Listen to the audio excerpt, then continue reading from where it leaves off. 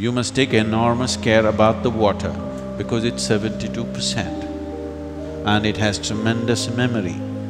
Immediately when it comes in the tap, if you take it and immediately drink it, it will work as poison in your system. The air gets affected just by the sounds and the intentions and the emotions. Get some sun on your body every day because sunlight is still pure.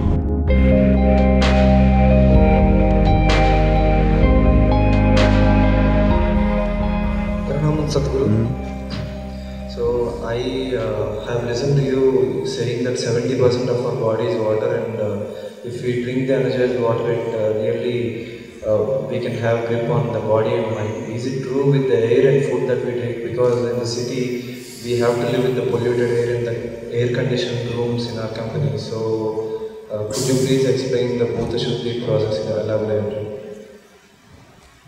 If you uh, tell your company, I'm willing to work without the air conditioner, they would be too glad. Would save them a lot of money, isn't it? And uh, it would be good for you in so many ways. But But now, the city is not in that kind of condition where if you open your window, breeze will not come, smoke will come, smell will come, dust will come. So, it's good, convenient. But you don't have to sit here twenty-four hours, only for work. You can take a walk whenever you can. And anyway, seventy-two percent is water, twelve percent is earth, only six percent is air. In that six percent air, air is not always in the breath. Out of the six percent air that is here, it is only less than one percent which you're breathing. Rest is simply there. For some people, it's concentrated in the brain. But otherwise, in every cell in the body, there is air. So when you say air, it's not just the breath. Six percent air is in every cell in the body. Just remove it a little bit from the brain, it'll be good. It's good if it's in the lungs, in the heart and the muscles. They function better if there is oxygen, you know? You know this? If you're oxygen deprived, muscles become rigid, because this needs air, otherwise it'll not work. So, water is seventy-two percent. So maximum care should be taken about the water because it's seventy-two percent. If you are going to an examination, Suppose uh, it is like this, let's say you're going for physics examination. You have water, earth, this, that, but just the water subject is for seventy-two marks. Naturally, you spend more time reading about water, isn't it? Studying water, yes or no? Air is only six percent, you may not study because you are okay with ninety-four.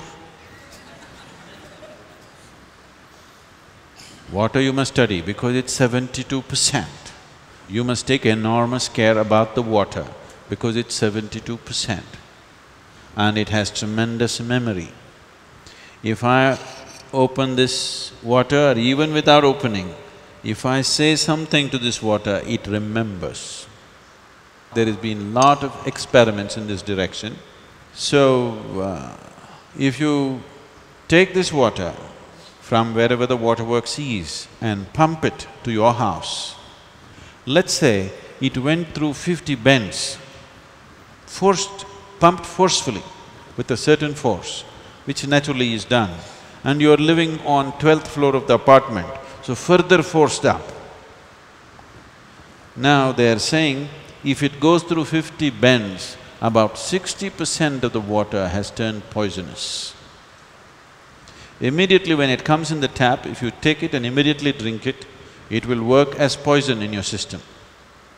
If you take it and hold it for some time, it will undo itself again. Because the poisoning is not chemical, it is molecular. Molecular changes are happening, no chemical changes happening. This is why traditionally your grandmother always told you, always you must gather the water, keep it overnight in your house in a properly cleaned vessel with vibhuti and kumkum on it and one flower on it. Yes or no?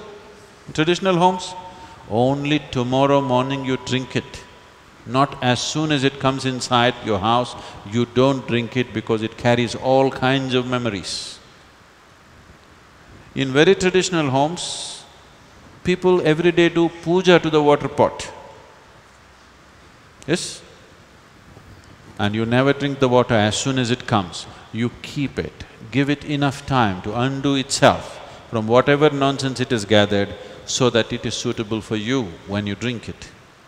Water you must take care because it's seventy-two percent. It's more… it's first class, you know, more than passing mark. Next thing is food, because that's the earth, twelve percent, still substantial, isn't it? So how food goes into you, from whose hands it comes to you, how you eat it, how you approach it, all these things are important. Then comes your air, six percent. In that six percent, only one percent or less is your breath. Rest is happening in so many other ways. And it's important, especially if you have children, at least once a month, take them out somewhere, not to the damn cinema, again breathing everybody's nonsense.